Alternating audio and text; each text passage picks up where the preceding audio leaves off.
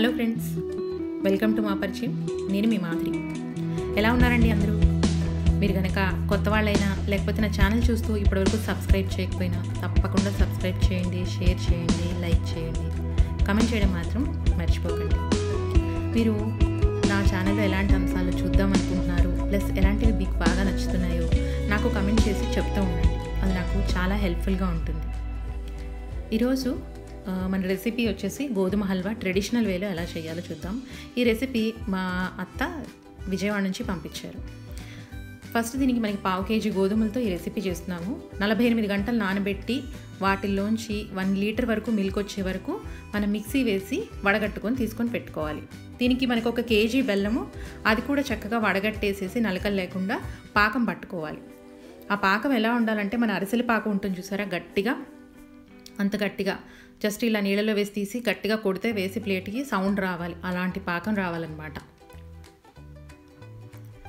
ఆ పాకంలో ఈ గోధుమ పాలు కొద్ది కొద్దిగా కొద్ది కొద్దిగా వేస్తూ కంటిన్యూస్గా మనం వాటిని తిప్పుతూ స్టిర్ చేస్తూనే ఉండాలి. చూసారు కదా? అలా కొద్ది కొద్దిగా పోయాలి. లేకపోతే గడ్డలుగా కట్టేసేసి తర్వాత చాలా ప్రాబ్లం అయితే అవుతుంది. ఈ ప్రాసెస్ చేయడానికి కొద్దిగా ఓపిక అయితే ఎక్కువ కావాలండి. ప్లస్ ఇది చాలా అంటే చాలా హెల్దీ ఎందుకంటే గోధుమ పాలతో చేస్తున్నాం కాబట్టి ఇది మన బోన్స్కి చాలా గట్టిపడడానికి కానీ లేకపోతే పిల్లలకి కానీ చాలా హెల్తీగా ఉంటుందన్నమాట. వచ్చేది చలికాలం కాబట్టి అది కూడా చాలా హెల్దీ హెల్ప్ఫుల్గా కూడా ఉంటుంది మన బాడీలో హీట్ ఫామ్ చేయడానికి. రెసిస్టెన్స్ కూడా బాగా పెరుగుతుంది. ఇది ఇలా కంటిన్యూస్గా తిప్పుతూనే ఉండాలి. ఎక్కడా కూడా ఆపొద్దు. సో చూసారు కదా? పాలు పోసి మొత్తం అంతా మనం అలా తిప్పేసిన తర్వాత నెయ్యి కూడా పోస్తూనే ఉండాలి వెంటనే. ఆ నెయ్యి మూడు వందల గ్రాముల వరకు నెయ్యి పడుతుందండి. పావు కేజీ గోధుమలు కేజీ బెల్లము ఒక లీటరు పాలు. ఆ గోధుమల నుంచి తీసిన పాలు ఒక లీటరు ప్లస్ మనకి మూడు వందల గ్రాముల నెయ్యి. ఇది లెక్క. ఇలా కంటిన్యూస్గా తిప్పుతూ ఉన్నప్పుడు అది అంచులు వదిలేస్తూ ఉంటుంది మీరు గమనిస్తే కనుక ఇలాచీ పౌడర్ వేసుకోవాలి ప్లస్ ఇలా డ్రై ఫ్రూట్స్ మీకు ఇష్టమైన డ్రై ఫ్రూట్స్ ఏ డ్రై ఫ్రూట్స్ అంటే అవి వేసుకోవచ్చు. అది చూసారు కదా అంచులు వదిలేస్తూ ఉంది అక్కడ. ప్లస్ మనకి పైకి ను నెయ్యి కూడా బాగా తేలుతూ ఉంది.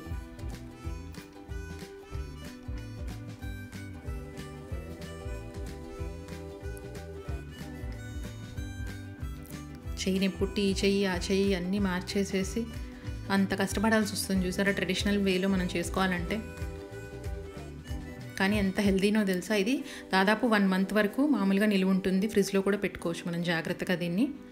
ఇంతేనండి మనకి హల్వా రెడీ అయిపోయింది. ఒక ప్లేట్కి కింద నెయ్యి రాసేసి చక్కగా ఈ హల్వాని దాంట్లో వేసేసుకున్నాం అనుకోండి కట్ చేస్తే చాకు కూడా అంటట్లేదు. ప్లస్ ఎంత బాగుందో చూడండి కలర్ఫుల్గా. సో ఇదేనండి మన రెసిపీ. మీకు నచ్చింది అనుకుంటున్నాను కానీ కంపల్సరీ మీకు కుదిరితే కనుక ట్రై చేయండి. హెల్దీ రెసిపీ ఇది. పిల్లలకు కూడా బాగా నచ్చుతుంది. ప్లస్ పిల్లలు కూడా తినవలసింది ఇది.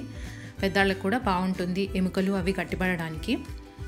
సో ఇదే ఫ్రెండ్స్ మన రెసిపీ. మీకు నచ్చిందంటే తప్పకుండా సబ్స్క్రైబ్ చేయండి. మీ ఫ్రెండ్స్కి షేర్ చేయండి లైక్ చేయండి కమెంట్ చేయడం మాత్రం మర్చిపోకండి.